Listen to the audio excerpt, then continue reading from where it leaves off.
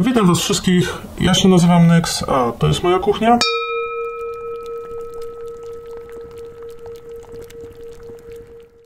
Witajcie. Tym odcinkiem chciałbym rozpocząć kolejny cykl. Tak jak już był cykl o kadzidłach, który się pojawił jesienią. E, tak zimą chciałbym opowiedzieć Wam troszeczkę o różnego rodzaju składnikach alchemicznych. Na pomysł tego cyklu naprowadziły mnie trochę, e, naprowadziły mnie trochę odcinki, które robiłem o metalach,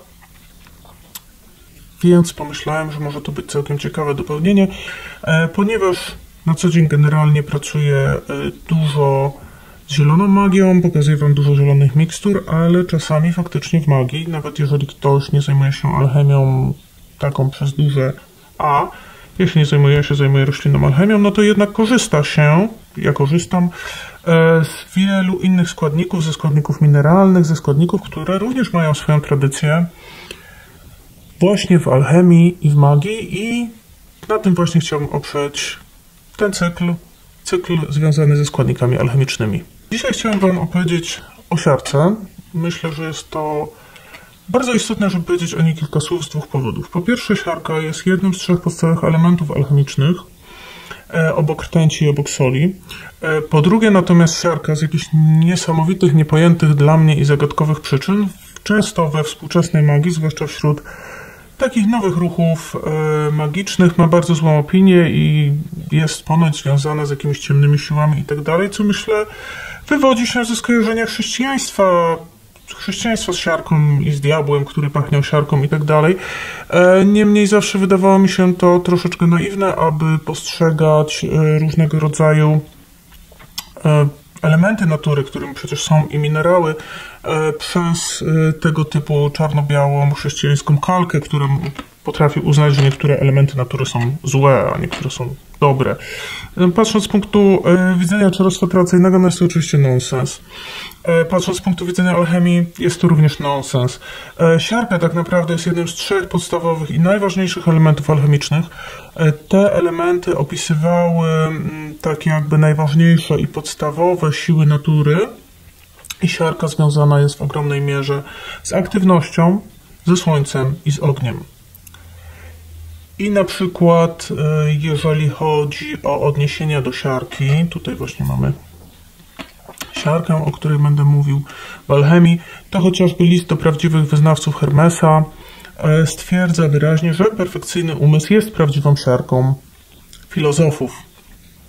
Z kolei w tekście anonimowym pod tytułem Światło ustępujące ciemności e, również czytamy Osiarko pełna blasku, o prawdziwe ożywione złoto. Uwielbiam tobie, w tobie wszystkie cechy słońca, bo siarka jest skarbem i prawdziwym fundamentem sztuki. Przyspiesza to, co natura doprowadziła do perfekcji złota. Co również nam mówi o własnościach siarki, o tym, że właśnie siarka działa podobnie jak słońce, a więc ulepsza to, co jest niedoskonałe w naszych zaklęciach lub też materii i prowadzi je właśnie do doskonałości. Siarka, można powiedzieć, jest więc takim wyizol wyizolowaną tą energią złota, tą energią prowadzącą do doskonałości. Siarkę możemy znaleźć w kilku różnych formach. E, po pierwsze, mamy tutaj siarkę rodzimą, która może właśnie występować w takiej formie jako siarka osadowa, czyli taka, która powstała z różnych osadów. Jest to taki żółty kamyczek, dość pyrowaty. On ma też taki charakterystyczny zapach. I siarka rodzima może też występować w formie krystalicznej. Częściej siarka w tej formie ma pochodzenie wulkaniczne, więc jest, można powiedzieć, czystsza też, jeżeli chodzi o pochodzenie, ponieważ, jak powiedziałem, siarka jest związana z ogniem, jest związana ze światłem, więc siarka wulkaniczna oczywiście, że będzie bardziej jakby drogocenna. Niemniej nie częściej w różnego rodzaju miksturach i e, w pracy, mm, jeżeli chodzi o magię, o czary, używamy oczywiście siarki, w formie pyłu, takiego właśnie żółtawego pyłu. E, siarka, jak już wspominałem, jest aktywną, męską zasadą. Posiada zdolność do tworzenia zmian, a najbardziej posiada zdolność do udoskonalania danego stanu, więc możemy ją wprowadzić wszędzie tam w zaklęciach, gdzie zastajemy jakąś niedoskonałość i chcemy, aby ona poszła w kierunku doskonałości, ale też siarka tak naprawdę wesprze nam każdą zmianę, więc również bywa bardzo często używana w klątwach, gdzie przyspiesza i pozwala wprowadzić pewne zmiany. nawet negatywne. Siarka posiada właściwości gorące i suche, takie same jak, jak element ognia, jak już wspominałem, jest kojarzone ze Słońcem. Paracelsus powiada, iż siarka w alchemii zarządza nadmiarem energii, który wynika z dwóch innych substancji, soli i rtęci, albo też zostaje rozpuszczona. W jaki sposób więc y, używać siarki y, magicznie i w jaki sposób z niej y, korzystać? Siarka jest używana bardzo często w oczyszczeniach, ponieważ właśnie usuwa wszelką, wszystko co jest niedoskonałe. Nie tylko negatywność, ale wszystko co w jakiś sposób jest niedoskonałe, wszystko co powinno odejść, wszystko co jest um, zbyt słabe, żeby istnieć. Um, po prostu wypala, usuwa tak jak promienie słoneczne wypalają ziemię. E, jest bardzo często używana w działaniach nekromantycznych. Jak na przykład w przypadku rytuału Terezjasza, opisanego w Tebaidzie Owidiusza, Papijusza, Stacjusza, gdzie dokonywało się oczyszczenia okolicy za pomocą rozdartych wnętrzności owczych i silnego zapachu siarki, świeżych ziół i długich wymruczanych modlitw. Gdzie, jak widzimy przed rytuałem nekromantycznym, była siarka wykorzystywana po to, aby usunąć wszelką negatywność, ponieważ e, wiadomo, że Rytuały nekromantyczne przez to, że nas e, kontaktują ze zmarłymi, mogą również ściągnąć ku nam duchy, które w jakiś sposób nie są doskonałe lub nie życzą nam dobrze, więc dobrze jest użyć wcześniej bardzo silnego oczyszczenia, e, żeby, no wiadomo, podnieść bezpieczeństwo takiej ceremonii. Siarka niszczy negatywność, pochłaniając ją, udoskonala każdą z rzeczy, przemienia ją ku doskonałości, wyrównuje kierunek, w jakim płyną energie, więc też pozwala usunąć splątania, aczkolwiek wtedy należy jej dodawać dużo mniej, ponieważ ona z uwagi na swój taki aktywny, ognisty, mocny charakter może nam zdominować zaklęcie.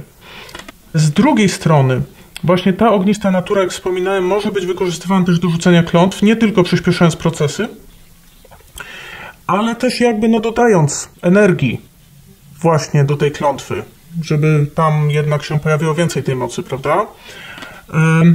Jej zdolność kierowania energią czyni ją też bardzo przydatną w powodowaniu splątań. Więc tak jak usuwa splątania, tak i naprawdę może je powodować. Więc tak naprawdę posiada ogromną ilość zastosowań. Jest to ochrona, odpędzenie, oczyszczenie, kierowanie energią, dodawanie energii, udoskonalenie, ogień i wreszcie eksplozja. Prawda? Czyni to po prostu siarką bardzo poręczną, bardzo uniwersalną i sądzę, że tak naprawdę każdy, kto pracuje magicznie, powinien mieć świadomość tego, jak wspaniały jest to tak naprawdę element i w jaki sposób siarkę powinniśmy widzieć. To nie jest jakaś dziwna, diabelska substancja, lecz jest to jeden z podstawowych elementów. Element aktywności, element światła, element słońca.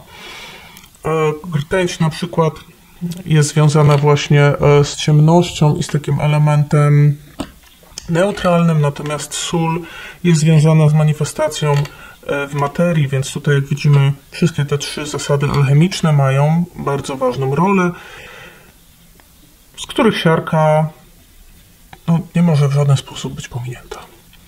Mam nadzieję, że ten nowy cykl, który chcę Wam przedstawić, Was zainteresuje, że okaże się ciekawy, że w jakiś sposób dopełni też wiedzy, e, którą staram się pokazać, której używam, jeżeli chodzi o zielone mikstury.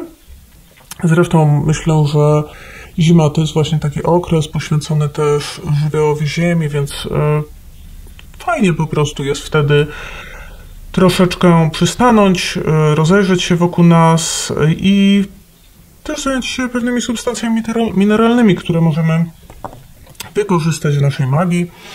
Ja Wam na dziś serdecznie dziękuję za udział. Mam nadzieję, że cykl ten będzie się cieszył powodzeniem.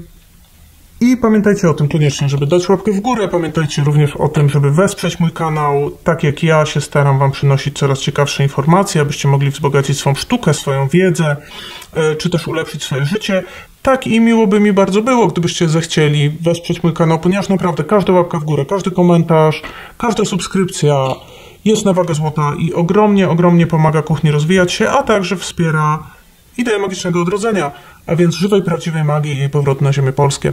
Ja, jak już mówiłem, dziękuję i do następnego zaklęcia.